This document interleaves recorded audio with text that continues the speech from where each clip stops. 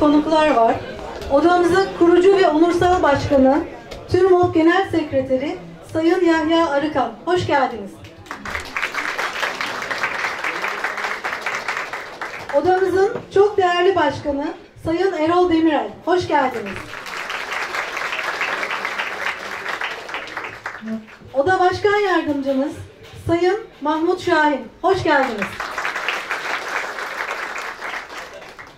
Oda Yönetim Kurulu üyemiz Sayın Özlem Gül Er. Hoş geldiniz. Oda Yönetim Kurulu üyemiz Sayın Mustafa Gün. Hoş geldiniz.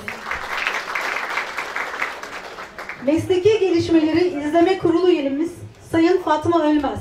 Hoş geldiniz. İSMO Akademi Yönetim Kurulu üyemiz Sayın Cengiz Özbaltacı.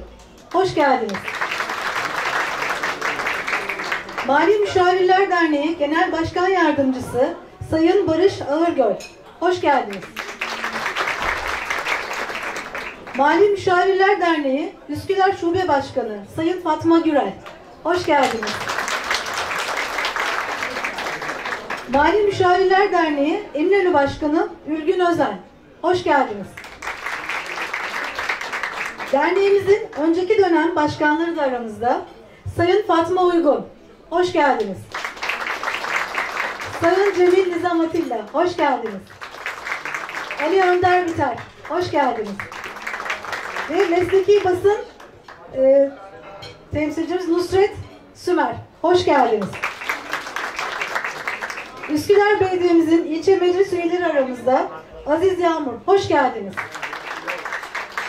Üsküdar Ticaret Lisesi Müdürü. Hoş geldiniz. Şimdi konuşmasını yapmak üzere Oda Başkanımız Sayın Erol Demirel'i buraya davet ediyorum.